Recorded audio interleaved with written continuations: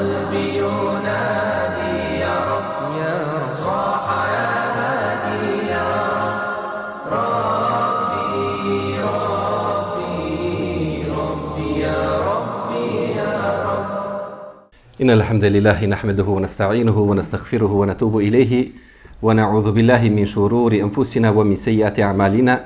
من يهده الله فلا مضل له وما يضلل فلا هادي له. وأشهد أن لا إله إلا الله وحده لا شريك له. وأشهد أن محمدا عبده ورسوله صلى الله تعالى عليه وعلى آله وصحبه وسلم. فقد ترك أمته على محجة البيضاء. ليلها كنهارها لا يزيغ عنها بادل حالك. يا أيها الذين آمنوا اتقوا الله حق تقاته ولا تموتن إلا وأنتم مسلمون. يا أيها الناس اتقوا ربكم الذي خلقكم من نفس واحدة وخلق منها زوجها وبث منهما رجالا كثيرا ونساء. واتقوا الله الذي تساءلون به والأرحام. إن الله كان عليكم رقيبا. يا أيها الذين آمنوا اتقوا الله وقولوا قولا سديدا. يصلح لكم أعمالكم ويغفر لكم ذنوبكم. ومن يطيع الله ورسوله فقد فاز فوزا عظيما. فإن أصدق الحديث كتاب الله وخير الهدي هدي محمد صلى الله عليه وسلم. وشر الأمور محدثاتها وكل محدثة بدعة وكل بدعة ضلالة وكل ضلالة في النار Poslije zahvala Allahu subhanahu wa ta'ala, pošto smo doneli salavat i salam na našeg posljednjeg poslanika i na Allahovog miljenika Muhammeda sallallahu alaihi wa sallam, draga braći i poštovne sestre, salamu alaikum wa rahmetullahi wa barakatuh. Mi smo navikli unazad nekih dvadesetak godina i da slušamo i da govorimo i savjete, eh, da, u, da se savjeti upućuju omladini. Da se savjete upućuju omladini. Najčešće u tom smjeru ide i često se eh, e, pomenju pogotovo nagrade oni koji e, obožavaju Allaha subhanahu wa ta'ala u svojoj mladosti. Ali i to ima neku granicu. Nemoguće 20 godina čovjek da se prepoznaje u predajama koje govore o mladini. Posle 20 godina mislim da već dolazi neki period gdje način savjetovanja i e, način e, buđenja ambicija kod ljudi treba biti na nešto e, drugi način. Našli smo da su iz generacija e, ispravnih prethodnika imali jednu rečenicu koju su govorili kaže men belega arba'ine to ajina alihi en jetefarrag li ta'ati Kaže onaj koji dosegne svoju 40. godinu mora sebe obavezati i mora sebe osloboditi da poveća pokornost Allahu subhanahu wa ta'ala. Znači, ko dosegne 40 godina, trebao bi više vremena da odvaja za ibadet Allahu, Allahu subhanahu wa ta'ala. A ili smo dosegli ili smo blizu e, tih godina, definitivno vidimo da e, sa tom granicom čovjek bi trebao da mijenja neke svoje navike, i trebao bi da više vremena u svojoj svakodnevnici odvaja za pokornost Allahu, Allahu subhanahu wa ta'ala. E, definitivno velika je blagodat ukoliko čovjek doživi 40. pokornosti Allahu subhanahu wa ta'ala. I ukoliko e, insan se nada tom e, dugom vijeku i, i, i e, očekuje da će ga gospodar svjetova poživjeti, definitivno onda mora e, računati i mora e, uklapati i povećavati svoje e, vrijeme u pokornosti Azza wa Jallu. E, ako na kraj krajeva ozbiljnije osobe, zrelije osobe, ne budu veličali Allahu subhanahu wa ta'ala, pa ko će, ko će veličati? Ozbiljnije i zrelije osobe imaju e, zreliju pamet, bolju pronicljivost, lakše se bore sa životnim izazovima jer već imaju određenu e, praksu, imaju i određenu praksu. Strasti su za takvu osobu e, manje, a posljedice e, grijeha su mu poznatije. Znači sve su to faktori koji na čovjeka utiču da bude stabilniji. Ako već ulazimo u tu dob stabilnosti, onda definitivno treba da povećavamo pokornost. Mi govorimo o nekoj granici od 40 godina. Šta je s osobom koja ima 50? Šta je s osobom koja ima 60 ili šta je s osobom koja ima više, više od toga? Ukoliko u ovom gradu Allaha ne bude veličao i ukoliko u ovom gradu Allaha ne bude slavila generacija koja u tim godinama, pa ko onda treba da slavi gospodara, gospodara svjetova? ko treba da slavi gospodara, gospodara svjetova? Posebno tešku kaznu na ahiretu pominje se stari čovjek koji je sklon nemoralu stari čovjek, to je jako odvratna, jako odvratna stvar. I mi imamo sad uh, generaciju jednu kompletnu koja je, nažalost, pregazio jedan uh, period ateizma, socijalizma, komunizma, ne da ne provode vrijeme u pokornosti Allahu subhanahu wa ta'ala, nego najčešće imaju jako ružne navike i jako uh, ružne dijaloge i određene susrete i određene radnje. E, trebali bi se malo usresrediti E, sebe spremati za tu, za tu jednu, jedan period ako nas Allah poživi, a s druge strane malo se usresrediti upravo na tu jednu populaciju gdje bi se trebalo skrenuti pažnja i gdje bi se trebalo ti ljudi podstaći da se vrate Allahu subhanahu wa ta'ala onoliko koliko, koliko im se okovi popuste, s obzirom da su to najčešće ljudi koji su još uvijek po teškim, po teškim okovima. E, to je neka misao sa kojom se nosim e, neko vrijeme, pa sam htio sa vama e, da podijelim, a inače tema e, večerašnjeg dersa jeste prvi od sedam pravnika Medine i osoba iz generacije, iz druge generacije Islama, iz generacije Tabiina, koja je izdavala fetve još za života ashaba. Još za života ashaba, to je definitivno velika pozicija i pokazatelj njegovog velikog znanja. Riječ je o Sejidu ibn Musajibu, riječ je o Sejidu ibn Musajibu, rahmetullahi ta'ala Kaže se da je on od medinskih tabeina i imao je nadimak medinski učenjak i imao je nadimak prvak tabeina. A vidjet ćemo kako bude kroz njegov život, kako budemo prolazili, da mu to nisu bili jedini nadimci. Kaže se da je jedan od prenosilaca hadisa i kaže se da je jedan od sedam pravnika, pravnika Medine. On je Ebu Muhammed, to mu je bio nadimak, Sa'id ibn Musaib ibn Huzm ibn Ebil Vehb el Mahzumi. Iz plemena Mahzum, što nas opet odmah usmjerava prema, prema porodici, prema mjestu e, rođenja. Kaže se da se rodio 15 godina, 15. godine po hijđari. Za vrijeme vladavine Omera ibn al-Hataba, radijallahu ta'ala anhu, e, islam su prihvatili i njegov otac, e, El Musaib, i njegov djed Huzn. I obojica se ubrajaju u ashabe našeg poslanika Muhammeda sallallahu alaihi wasallam i čak njegov otac je bio od one skupine koja je e, bila kod prisege pod drvetom. A vi znate u, u vjerovanju ehli sunnata vel džemata, kada se govori najboljoj generaciji, to su ashabi. A kada se govori o najboljim pojedincima među ashabima, posljednje četvorice imama i preostali desetorice kojima je obećan dženet, pominju se e, učesnici bedra i pominju se oni koji su dali prisegu pod drvetom.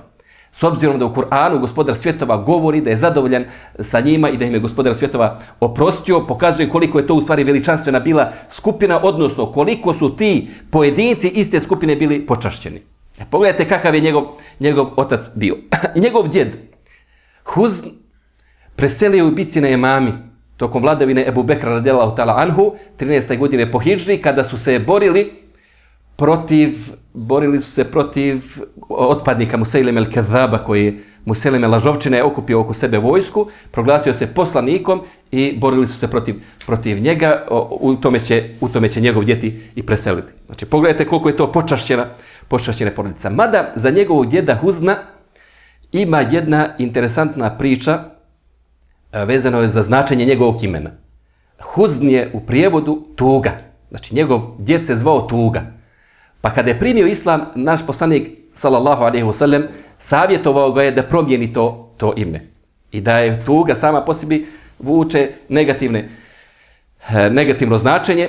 On je bio čovjek već u godinama sa nekim usvojenim postulatima, razumio je da to nije naredba od našeg poslanika sallallahu alejhi ve sellem nego je to, da je to samo preporuka pa je prevlada, prevladalo kod njega onaj osjećaj porodične pripadnosti. I rekao je meni su roditelji izabrali ovo ime i nastavio je da ga nosi nastavio je da ga nosi. Njegov uh, unuk Said će kasnije kroz život uh, pominjati. Kaže još uvijek osjećamo tragove njegovog imena na našu porodicu. Kaže njegovo njegovo ime Huzn tuga pratilo je tuga je pratila našu našu porodicu i od prihvaćenih stvari, opšte poznatih stvari, jeste da na kvalitet života i na, na posljedku, na kader kod čovjeka utiče e, njegovo ime. Njegovo ime. Ako čovjeka e, kompletnog njegovog života nazivate, e, ne znam, ili klempo ili glupak ili slično tome, kompletan život, kako tako nazivate, ne možete očekivati da će on postati nešto, nešto u životu. Jednostavno ga vi ograničavate, ograničavate ga tim, tim nazivima i zato je u islamu preporučeno da se nose imena sa lijepim značenjima i naj, na kraj krajeva najpohvalnije imena su opet Abdullah i e, Abdurrahman i čak naš e, kada je Ali radijallahu ta'ala anhu kada su mu se rađala djeca, on im je davo ko, konstantno je htio neka, neka druga imena, naš poslanik sallallahu alaihi wasallam je nazivao najljepšim imenom Hasan, dobar, Husein, to je već e, malo dobro. Pa kaže se za treće Alijinog dijete i Fatimino, ukoliko je ispravno da je, koliko je tačno ima razilaženje oko predaje, Muhsin. Znači sve lijepa imena koristi u lijepom, u lijepom značenju. E, zatim osoba ženska koja se e, ružim imenom, onda je on e, savjetovao da se prozove ljepoticom. Zašto se ne bi prozvala ljepoticom? Kakva god da si opet će muž kompletan život zvati Džemila, ljepotica, ljepotica e, i slično, i slično tome. E, iz ovog primjera e, vidimo koliko je bilo ko, kompleksno i koliko je bilo nekada usađeno i u tim generacijama određene vrijednosti i ukoliko nisu razumijevali da je naredba da se to promijeni, oni su ostajali na tome. Znači, pogotovo ta generacija, evo mi opet govorimo, preko 40 godina. Znači, preko 40 godina čovjek usvoji nešto, jako mi je to teško toga da se, da se e, kloni.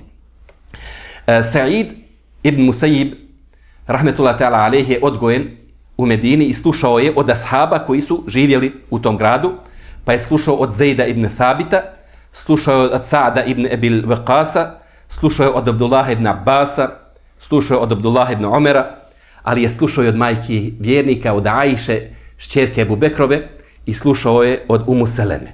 Znači, pa je to privilegija, a s druge strane jako korisno, zato što su one znale određene predaje i određene dijelove života našeg poslanika, sallallahu alaihi wasallam, koje nije znala javnost, muška javnost. Ipak je ovo porodični, porodični život, to mu je omogućavalo da ima bolji uved po pitanju biografije našeg poslanika, sallallahu alaihi wasallam.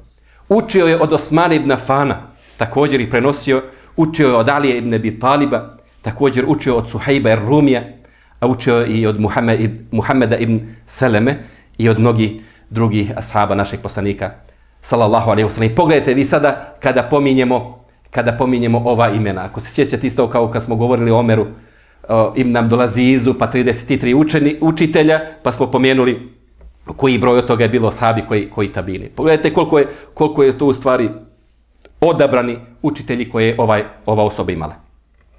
Njegova upornost u učenju bila je istaknuta čak i u toj generaciji. Odvajao se u odnosu e, čak i na ljude koji su isto imali velike ambicije prema e, knjizi, tako da je nekada putovao danima kako bi obogatio svoje znanje jednim hadisom naših poslanika, sallallahu alaihi wasallam. sallam. To je isplativa investicija.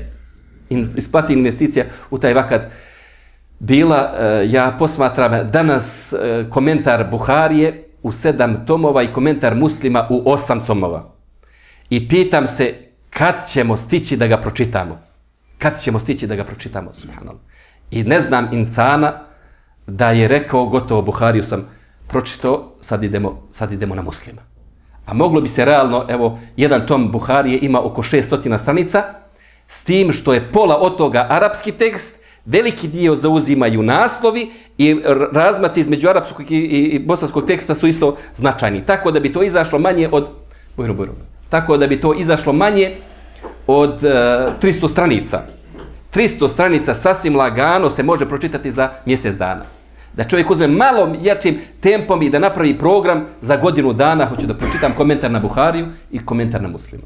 Vjerujte, nećete osjetiti tegobu, nećete osjetiti e, nikakav, nikakav pritisak, a poslije godinu dana ćete biti obogaćeniji i terminologijom, i propisima, i prosvjetljeniji, jer čitate hadis našeg poslanika, Muhameda, Muhameda sallallahu alaihi wa sallam, i podstako bi vas da uđete u tu postolovinu, koliko god vam ona izgledala sad e, sa, ove, sa, ove, sa ovog aspekta, nemogućom misijom, nego mogućom misijom. Ono što je interesantno za Saida ibn Musaiba, njegove upornosti, jeste da je bio posebno vezan za Ebu Hureyru radijallahu ta'ala anhu. Za Ebu Hureyru radijallahu ta'ala anhu.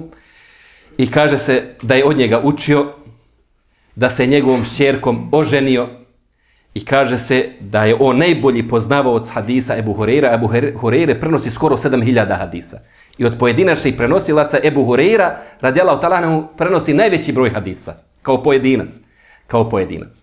I kaže se da većina predaja koje prenosi Sa'id ibn Musaib su u stvari hadisi koje je čuo od Ebu Hureyre, radijallahu ta'ala anhu.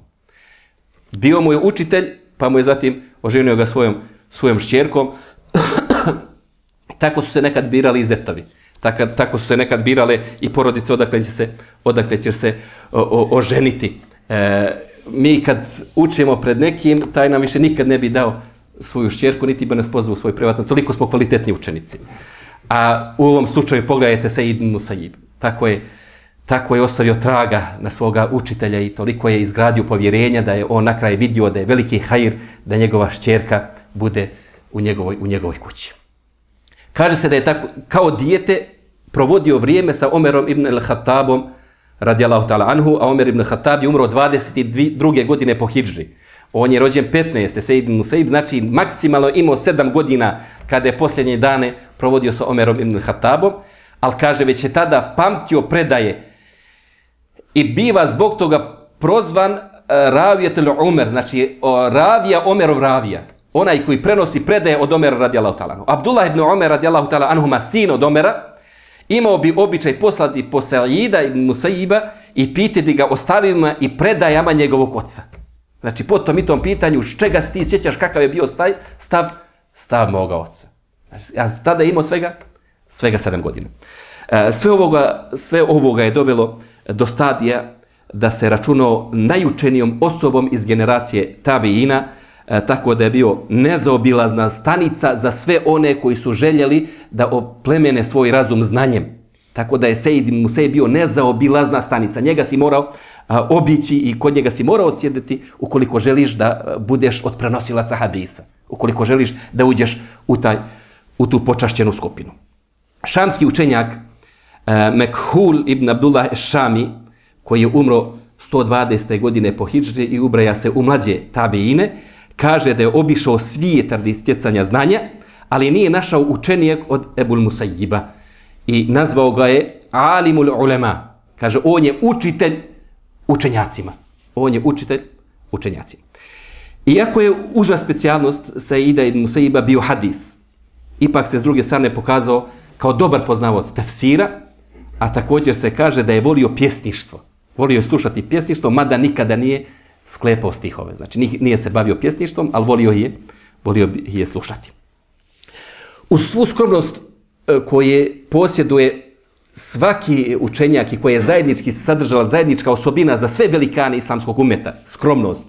Znači uzmite obzir da je ovo rekao u situaciji i rekao je e, kao skroman čovjek sam sebe opisao i kaže niko nema učeni od mene po pitanju rješenja koje je iznašao naš poslanik, znači e, po pitanju kada, kada, od svih oni propisa fetvi, niko nema bolji uvid na zemaljskoj kugli po pitanju fetvi koje je izdao naš poslanik, niti po pitanju fetvi koje je izdao Ebu Bekr, niti po pitanju fetvi koje je izdao Omer radijallahu ta'ala. I to sigurno govorimo da je rekao kao skroman čovjek. Kao skroman čovjek, ali to je bilo nešto što, što se nije moglo E, zanemariti. To je bilo nešto što se nije moglo zanegirati. Ovo mu je potvrdio e, i Abdullah ibn Omer radijallahu ta'ala anhu, odnosno Anhuma, s obzirom da su obojica sahabi, kada je rekao, on je tako mi Allaha jedan od muftija. Sad ashab govori za tabina, on je tako mi Allaha jedan od muftija. E, kada bi bio upitan o nečemu, znači Abdullah ibn Omer radijallahu ta'ala anhuma, kada bi bio upitan o nečemu što mu je bilo manje poznato, imao bi opičaj da pošalje kod Saide ibn Musaiba i da govori pitajte Saide ibn Musaiba jer je on čovjek koji se družio sa salihinima.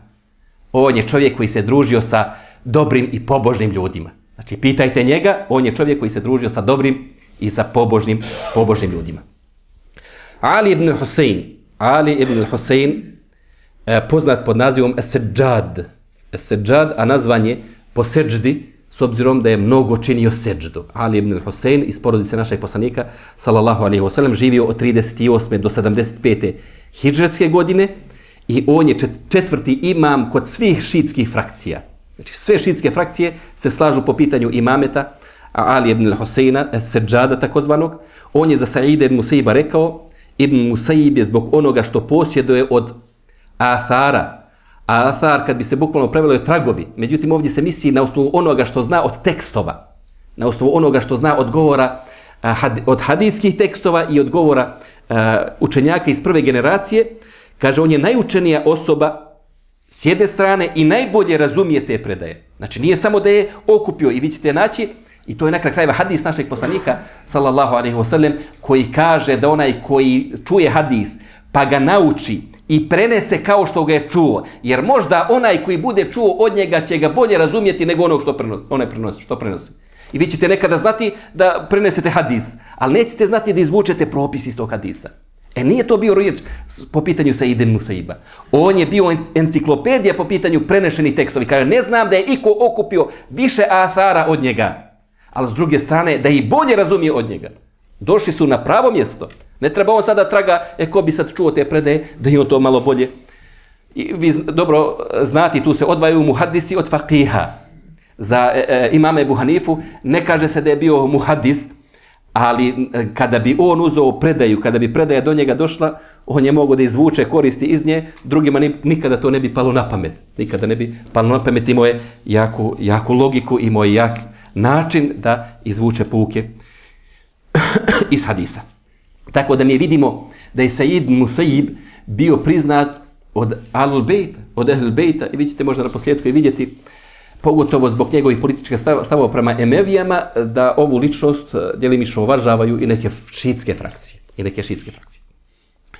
Eh, Katada eh, Sadusi, koji je umro 118. hijđarske godine, kaže da u životu nisam sreo boljeg poznavaoca halala i harama od Saide ibn Saiba.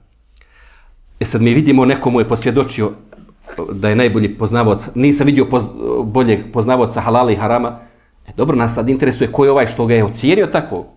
Došao neki čobanin i kaže super, a ti znaš možda dva propisa, a, u životu nisam vidio učenijeg čovjeka.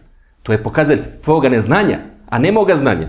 Tako da je bitno da vidimo ko je, ko je Katada. Ahmed, Ahmed ibn Hanbel za Katadu kaže da ne zna čovjeka sa boljim hivzom od njega.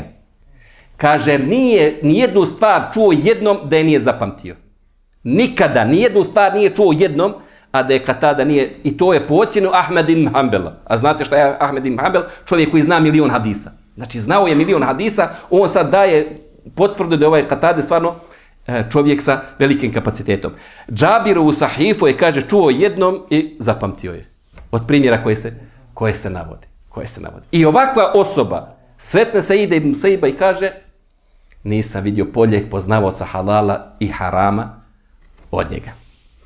Zbog toga što u svom vremenu prednjačio u fetvi, on je prozvan pravnik pravnika, ali je bio dobar poznavalac tumačenje snova. I ovu nauku je naučio od Esme šćerke Ebu Bekrove, koja je tu nauku usvojila od svoga oca. Tako da on ima senedi po pitanju tumačenja, tumačenja snova, on je to naučio od Esme, a Esme je naučila od Ebu Bekra radijallahu ta'ala anhuma. E, vidimo da je to čovjek bio koji je izdavao fetve i na koje ashabi su upućivali prema njemu kao što je to Abdullah ibn Omer radio da bi izdavao fetve, fetve drugima. Said ibn Musaib, rahmetullah ta'ala alaih, bio je is, ustrajan po pitanju istine i nije se dodvoravao nikome tokom svoga života, niti je čutao na nepravdu ikome. E, zbog takve politike bio je u lošim odnosima sa Emevijama. Pogotovo zato što su Emevije imale određene postupke koje se mogle teško opravdati. E, nikako e, nije od njih uzimao ništa što mu pripada od Bejtul Mala. On je kao profesor, kao stanovnik Medine prije svega, a zatim kao profesor e, medinskog harima imao pravo na primanje iz Bejtul Mala koje je bilo određeno određenim aktima. E, s obzirom da nije bio zadovoljan sa postupcima emevijskih vladara, sve to odbijao. Pa se kaže da je njegov e, količina novca u Bejtul Malu dosegla preko 30.000. 30.000 neke valute, da li srebrnjaka ili, ili zlatnika. Pa su poslali po njega i rekli mu dođi da pokupiš svoj novac. Znači oni su njegov hak odvajali, pa je on odbio i rekao nema, nemam ja za njim potrebe sve dok Allah ne presudi između mene i Mervanovih potomaka jer su ovo već došla onaj period djece Mervanove i njegovi, njegovih potomaka koji su, koji su vladali. Odbio je da uzme te novce koji su njegov hak bili zato što je bojkotovao njihove postupke i zato što je što je bio sa njima u određenim ne baš dobrim odnosima i to se situacija se komplicirala. e, Sejidin Musaib je koristio određene svoje krugove. E, oni su također, čak mu i zabranjivali, jedan period je došao kada su mu zabranili dersovu u u poslanikom haremu. Sve u svemu, a, došli je period da Emevije pokušaju sa Saidim Musejibom da uspostave neki kontakt i da ga pridobiju, pridobiju za svoju stranu, pa je halifa tadašnji Abdulmelik ibn Mervan, a, koji je vladao od 26. do 86. godine po Hidžri, a, otišao, odnosno poručio Ebul Musejibu, Saidu Musejibu, e, i zaprosio Saidovu šćerku za svoga sina El Velida koji je prestolonasljednik. Prosi njegovu šćerku za svog sina. Halifa prosi šćerku za svog sina koji je imenovan da će ga naslijediti u hilafetu poslije, poslije njegove smrti. El Velid, dobro, mi imamo uvijek vladajuće porodice i tako, to imamo neku, neku a, averziju. Međutim, e, El Walid je osoba koja je uspostavila Emevijsku džamiju u Damasku. I sve ono što će kasnije Emevijska džamija u stvari predstavljati po pitanju naučnog centra. E, za vrijeme Velidove vladavine Islam dolazi do Endelusa. Počinje osvajanje Endelusa. To znači sve to ide na, na račun ovog čovjeka. Islam dolazi do Turaka i Islam dolazi do Indije. Tokom vladavine El, El Velida. I on se računa šestim vladarom iz Emevijske plejade vladara. Kaže se da je hatmu zaklapao svaki treći dan. A u Ramazanu je zaklapao 17 hatmi. I kaže da nije priče o lutu i njegovom narodu, nikad ne bi mogao da pomislim da to čovjek može da uradi. Koliko je bio u osnovi čist, koliko je bio na prirodi, koliko je bio na prirodi. Da nije, kaže, kuranske priče o lutu i njegovom narodu, nikad ne bi mogao da, da pomislim. Znači, nije to neki čovjek koji je sklon nekim haramima, opet je insan koji bio bi interesantan da, da čovjek svoju e, šćerku uda i pogotovo što će kasnije e, ta djeca biti e, budući vladari i možeš uticati na ovaj ili na onaj, na, na onaj način. Međutim, Said Musaib se je bojao za svoju šćerku. Da će taj raskoš i taj način života negativno uticati na nju i odvio je. Nije je dao za, za vladara i čak se pominje da će dati za jednog i od Korejšija se kaže da je bio E, mladić od Kurejšija, E, Ebu Lveda iz života e, Tabeina kada se govori o priči Saide Museiba, kompletna njegova životna priča je vezana za udaju njegove šćerke. Interesantno koliko je njegov život u ovom, ali je e, priča ispričana baš onako poput priče. I mnoge stvari tu teško odvojiti ili istina ili nije istina, ali generalno kao priča može se, može se e, prihvatiti. E, Ebu kaže se ovdje da mu je bilo nadimak. Ebul Veda'a, a ono što sam našao u, u izvorima kod e, Muhammed Abdul Halika u Sejdul Fevaid, kaže se da je zvao e, Kethir ibn Abdul, Ab, Abdul Muttalib. Kethir ibn Abdul Muttalib iz e, mladić od, od Korešija. Mladić od e, Korešija e, kaže se da je udao svoju šerku Sejd Musaib za dva srebrnjaka. I ovdje u ovoj knjizi kaže da je to u stvari novac koji mu se našao u džepu. E, Kako ću, nemam ja sredstava da se oženim tvojom šerkom. Je pitao, dobro, koliko imaš novca? On je, evo ima neka dva srebrnjaka. Može, daj dva srebrnjaka, to će biti njen e, dar vjenčani i oženio je faktički za ono što, što je on imao u svom, u svom džepu. E, kaže se da je Sa'id ibn Musaib, rahmetullahi ta'ala alejhi, doživio dva velika iskušenja ili dva velika ispita tokom svoga života. Prvi ispit je bio kad je Abdullah ibn Zubair, Eh, radijallahu ta'ala anhuma, eh, kada se je proglasio halifom Hidžaza, Mekke, Mekke i Medine, za namjesnika je eh, postavio Džabira Zuhrija, pa je on pozvao stanovnike Medine da priznaju Abdullah ibn Zubeira za validnog halifu, međutim Sejid ibn Musaib je to odbio i rekao dok ga god svi stanovnici ne, prihvataj, ne prihvate, dok se stanovnici ne usaglase po pitanju njega, neću ga nija priznati, pa ga je ovaj uzeo i e, bičovao sa 60 bičeva. Bičovao ga je sa 60 bičeva kao kaznu zato što neće da prizna e, ono koje on smatrao da ima legitimnost da bude halifa. E, Džabir e, poslije tog bičovanja obavijestio je Abdullah ibn Zubeira, Abdullah ibn Zubeir je radijallahu ta'ala anhuma, Abdullah ibn Zubeir, časni ja sam našeg poslanika, uh, unuk Ebu Bekra radijallahu ta'ala anhu. Kada je, kada je čuo šta se je desilo, odgovorio je Džabiru s kratkim pismom gdje je rekao e, kakve mi imamo konfrontacije sa Saidom i Musaibom. Šta mi imamo sa njim da se tako sa njim ponašaš? Znači, mi nemamo nikakve sa njim konfrontacije. Mi, oni su imali konfrontacije sa Emevijama, kao u smislu šta si se, šta mi imamo sa Seidim Museibom, nemoj ga uznemiravati, nemoj ga više dirati. Naredio je da taj čovjek ostane, o, ostane po strani i da se ne vrši pritisak, pritisak na njega. A, vidite kad je principijalna osoba, koja neće prihvatiti stvar koja nije e, stopostotno definisana. Koliko je na kraju njegova riječ jako bitna. Jer za džabira namjesnika Medine je bilo jako bitno da Said Musaib prizna Abdullah ibn Zubair. Ako ga on prizna, znači jas, stvar je jasnije ostalim stanovnicima. Ali on je ta a, prepreka a, i on je taj koji dokazuje da stvar baš i nije idealna. Da stvar baš i nije idealna, pogotovo što se javilo veći broj onih koji su se proglasili halifama. Drugo iskušenje koje je imao jeste tokom eh, kada je umro Abdulaz, Abdulaziz ibn Mervan. Abdulaziz ibn Mervan, to je znači 86. hijđarske godine preselio, on je otac Omera ibn Abdulaziza. A prošli put smo govorili da je on bio imenovan za prestol nasljednika. S obzirom da je on preselio, sad treba da se imenuje novi prestol nasljednik. Tako da je eh, uh, Abdul Melik ibn Mervan, koji je dotad bio vladar, koji će u istoj to godini i on preseliti, E, za svog preslovnasljednika je imenovao El Velida, malo prije spomenu koji je prosio šćerku Se, e, Seiden Museiba, i za drugog svog prestolo nasljednika, e, znači imaš prvi prestol nasljednik i drugi prestol nasljednik. Ukoliko se ovom nešto desi, ovaj ga nasljeđuje. Sulejmana, njegovog mlađeg, mlađeg sina njegovog mlađeg sina. Pogledajte, 54. rođen, o, to se desilo 86. znači mladić je tada imao Pa dobro, 33 godine. 33 godine kada je bio imenovan za prostolo nasljednja. Nisu to ni, ni neke male godine. I obojica će imati ulogu. Elveli će biti šesti halifa, a Sulejman će kasnije biti sedmi emevijski, emevijski halifa. E, zato se za, u stvari za Abdulmelik ibn Mrvani kaže otac kraljeva. Zato što su njegova djeca, trojica djece ga je naslijedilo, naslijedilo u, u vlasti. E, poslali su svoje glasnike poslije tog imenovanja da sve predjeli priznaju buduće prestolonasljednike. Kad su došli do Said ibn Saiba, on je to odbio da prizna. Pogotovo to nije bilo u duhu prvih generacija, da se tokom e, još živećeg vladara daje prisega novom vladaru. I to je prenosi se od Abdullah ibn Omer i mnogih drugih kada se to desilo sa e, Jezidom i sa Muavijom radijalahu talanhu, da su govorili nema problema, Muavija nek se povuče sa mjesta halife, nek imenuje svoga sina, mi ćemo ga priznati za halifu.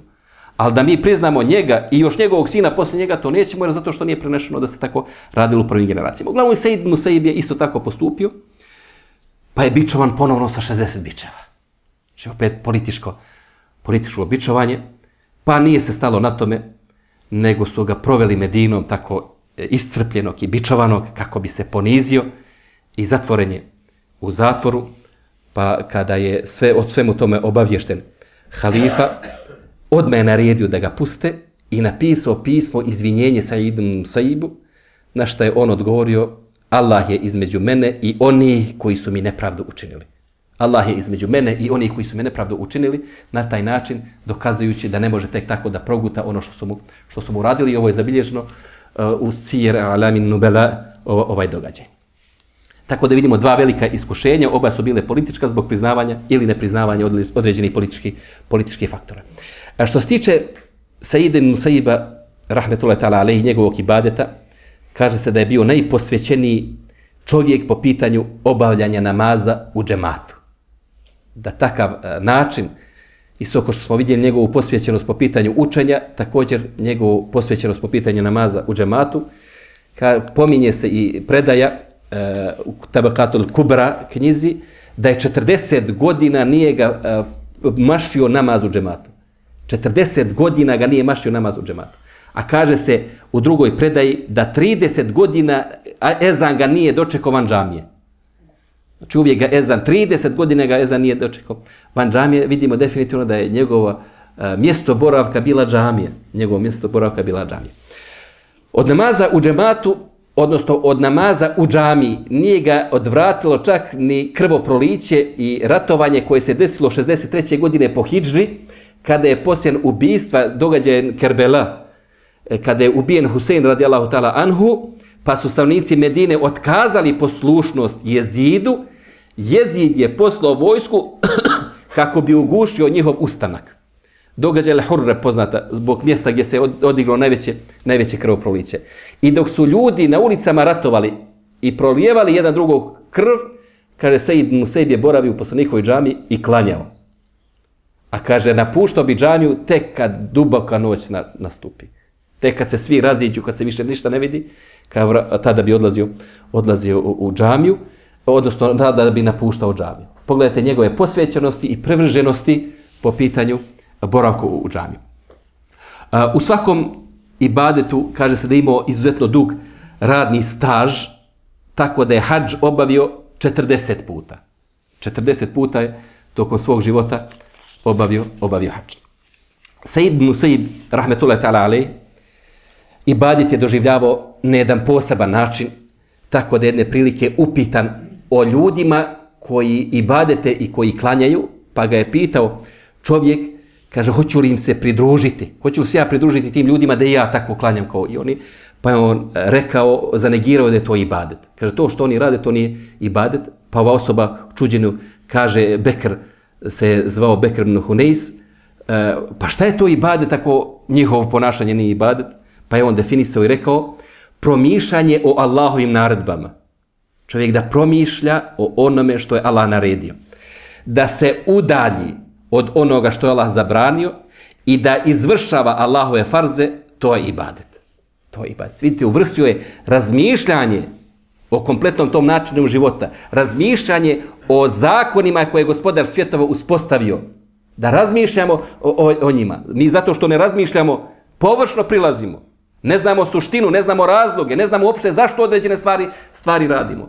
Ko redovno bude učio dovu poslije nezana, redovno ko ponavlja za mojezinom i uči dovu poslije nezana, imaće pravo na šefat poslanika. Sallallahu alaihi wasallam. Kad učite dovu poslije nezana, pade li vam na pamet šefat poslanika? Ko bude redovno donosio salavat Ibrahimije, Allahume salli ala Muhammed wa ala ali Muhammed, kema salete ala Ibrahim wa ala ali Ibrahim inneka hamidu međid. Imaće pravo šefat našeg poslanika, sallallahu alaihi wasallam. Kada učimo te salavate, imamo li mi uopšte ikakve predstave da to ima veze sa šefatom? I mi ne znamo šta radimo. Mi radimo stvari mehanički i onda hoćemo da uživamo u njima. To je nemoguće. To je nemoguće. Promišljanje o Allahovim naredbama. Da se čovjek kloni svega ono što je Allah zabranio i da izvršava Allahove farze, to je ibadet. To je, to je ibadet. E, također, Sejid Museib, rahmetullahi ta'ala alehi, smatrao je da je ponos u izvršavanju ibadeta, da je to izvor ponosa, pa je rekao, robovi e, ne mogu sebe počastiti boljom počašću od pokornosti Allahu subhanahu wa ta'ala, niti sebi mogu više prevariti nego činjenjem grijeha prema Allahu subhanahu wa ta'ala i kaže vjerniku je dobro, dovoljno pomoći od Allaha da vidi svoga neprijatelja u nepokornosti Allahu. Vi kad vidite ove naše din dušmane, kako se ponašaju, nažalost mnogi bošnjaci ne odudare od njih pa nam je to pa nam je to e, žao, ali kad vidite u čemu troše živote, u čemu troše novce, onda stvarno ne treba ti veća pomoć od Allaha subhanahu wa ta'ala. Na koji način oni svoj život proživljavaju po raznim haramima, onda to ne treba za nas predstavljati veću pomoć i već, veću radost od gospodara, od gospodara svjetova. Sejid Musaib, rahmetullahi ta'ala ali, i za sebe ostavio stotinu zlatnika koje je oporučio da se e, podijele onima koji su prezaduženi i onima koji imaju potrebe za osnovnim životnom, životnom e, egzistencijom. I kaže se da je Sejid Musaib, rahmetullahi ta'ala ali, na Dunjalu gledao pogledom Zahida, pa tako da se prenosi da je rekao, kaže, doista je Dunjaluk bijedan. I on e, svakoj bijedi teži. Znači, Dunjaluk teži bijednicima. bijednicima. A od njih je najbjedniji onaj e, koji ga bespravno, bespravno uzima, koji ga ne na adekvatan način traži i koji ga na pogrešan način troši. Hem ga na neadekvatan način uzimaš, hem ga na neadekvatan način tražiš i hem ga na neadekvatan i pogrešan način trošiš. Kaže, to je najveći bijednik među tim bijednicama. Sejid Musaib, rahmetullahi ta'ala alaih, umro je 94. godine po hijđri, što bi značilo da ima oko 79 godina, što su pristojne, pristojne godine za umet Muhammeda sallallahu alaihi wasallam i umro je tokom vladavine El Velida ibn Abdul Melika, tog nesuđenog, nesuđenog svoga zeta. Na samrtničkoj postelji je ostavio emanet da se njegov mezar ne obilježava na poseban način, da se njegovo tijelo ne tretira na poseban način i e, zamolio je da se niko posebno zbog e, njegove smrti ne obavještava. Već je rekao dovoljno je ono što je gospodar svjetova učinio od kadera. Znači oni koji se nađu tu, neka oni obave e, moju dženazu, nemojte nikoga zahmetiti i behuzuriti zbog, zbog moje e, smrti. E, iza sebe je ostavio tri sina, ostavio Muhameda, ostavio Saida i ostavio Ilijasa i ostavio tri šćerke, ostavio Umu Usman, Umu Amr i Fahitu i ostavio za sebe tri supruge, među kojima i šćerku Ebu Hureyre radi Allahu talanu. E, jedna od ličnosti koja stvarno zaslužuje da se ponekad prisjetimo njegovih biografskih, biografskih podataka, jer znajte, mi ćemo se s ovim ljudima gurati na sudnjem danu i pokušavati mi našim dijelima da stegnem, steknemo taj neki isti ravnopravni, punopravni status kao što su, kao što su i oni. Vjerujte, postavili su takvu ljestvicu da će nam trebati mnogo, mnogo više nego što mi trenutno radimo, ali molim Allaha da budemo svjesni velikana našeg umeta, molim Allaha da se ugledamo na velikane našeg umeta i molim Allaha da nas učini od velikana ovog umeta, jer Allahu je to lahko da nas spoji sa njim, sa njima u dženetu, jer to je ono što gospodar svjetova i voli da uradi sa svojim robovima. Allah voli svoje robove da uvede, uvede u dženet. Allah da vas nagradi zbog dolaska, zbog pristunog slušanja, da ove riječi budu dokaz za nas, nikako protiv nas na sunjem danu. Subhanika Allahume ve bihamdik, ešhedu en la ilaha illa ent, estakfiruke, wa atubu ilike.